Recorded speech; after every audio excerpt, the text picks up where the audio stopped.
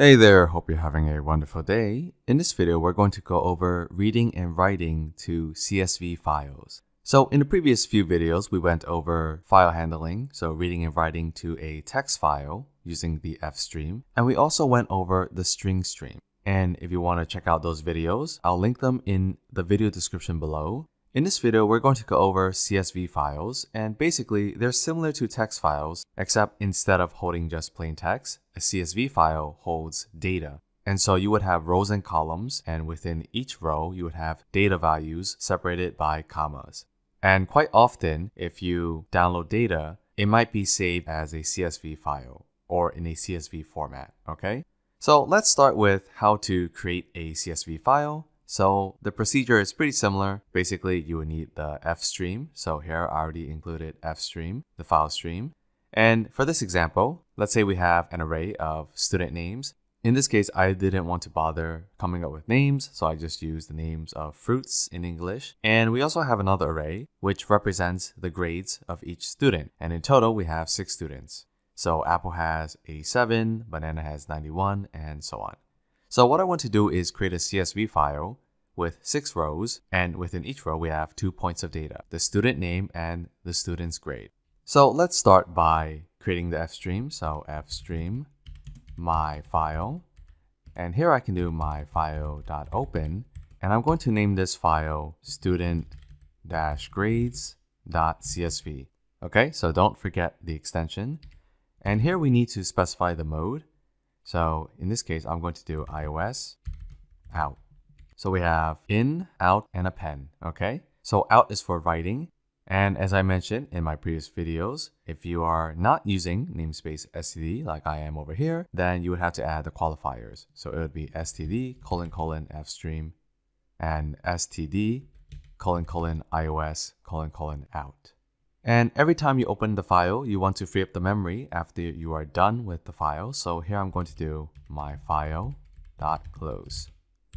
All right, so let's write to a CSV file. And if you somehow have this file in your directory with the same name, then when you are using the write mode, it's going to overwrite the content of that file. In our case, the file does not exist, so it's just going to create a new file. So the first thing we need to do is check to see that the file opened successfully. So here I'm going to do if my file dot is open, and then we're just going to iterate through the students and grades and write them into the file. So for int i is equal to zero, i is less than student count, i plus plus, so writing is exactly the same as with text files, except you would separate each data value with a comma. So here I'm going to do my file, students at index i,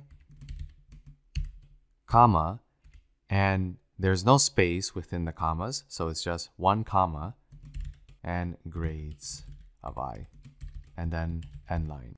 All right, so that's all we need to write to our file. So here you can see I don't have any CSV files. So let's save and run the program. All right, so we ran the program. Now let's check our folder. And you can see we have a CSV file. And if you notice, since I'm using Windows, I also have Microsoft Excel and you can open up CSV files in Excel. So it's basically like a spreadsheet. So if I just open this, you can see we have our data over here. So we have the student names in the first column and the student grades in the second column. Okay.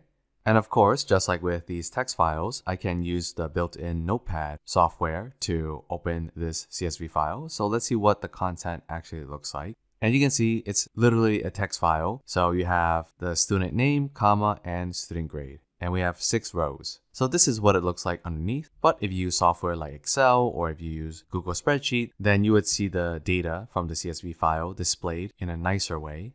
And of course, just like with the text files, I can simply just pass this into the constructor. So I don't need to call the open function. I can just do this. So here I'm just going to delete the file and let's save and run the program. All right. And you can see our file's over here again. Okay. And if you are just writing to the file, you can use OF stream. So this stands for output file stream. So you don't have to pass in the mode. So here I'm going to delete the file again and let's save and run the program. All right. And there you go. We have our CSV file. Okay. And just like with the text files, you can also append to the CSV file. If you are writing to a file, it's going to replace all the contents within the file. Maybe sometimes you want to append data to the CSV file, in which case you would not use ofstream, you would use fstream again. But this time you would do ios colon colon app. So this is the append mode, and I'm going to get rid of this. And here I can just append one more line, so I can do my file. And let's say lemon 93. Let's save and run the program. All right, now let's check our file. So over here, I'm going to open it up in Excel again. And here you can see we have a new entry down here, okay? All right, so we have our CSV file created, and now you know what CSV files are. Now let's read from a CSV file. So let's get rid of this, and we don't need this bit anymore. And let's change the mode to ios in. So this is read only. Alternatively, you can just use the IF stream. So instead of F stream, you can do IF stream, and that way you don't have to pass in the mode. All right, so we are going to open this file and I'm also going to close the file at the end. And over here, I'm going to check again if my file dot is open. And here we're going to read from the file. So the first thing we're going to do is get each line from the file. And from that line, we are going to split the contents using the commas. So here I'm going to do string line and for the input, I'm going to use the getLine function. So while getLine, we're going to pass in the file stream. So over here, I'm going to do my file, and we're going to pass in the contents of that line into our string variable line. So while we can get the line, so while we can still read lines from the file, I'm going to just print out the line.